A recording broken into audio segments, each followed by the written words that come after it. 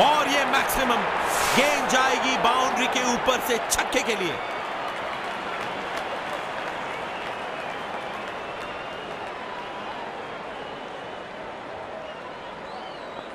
Stadium दर्शकों से पूरी तरह से भरा हुआ है और क्रिकेट का आनंद उठा रहे हैं।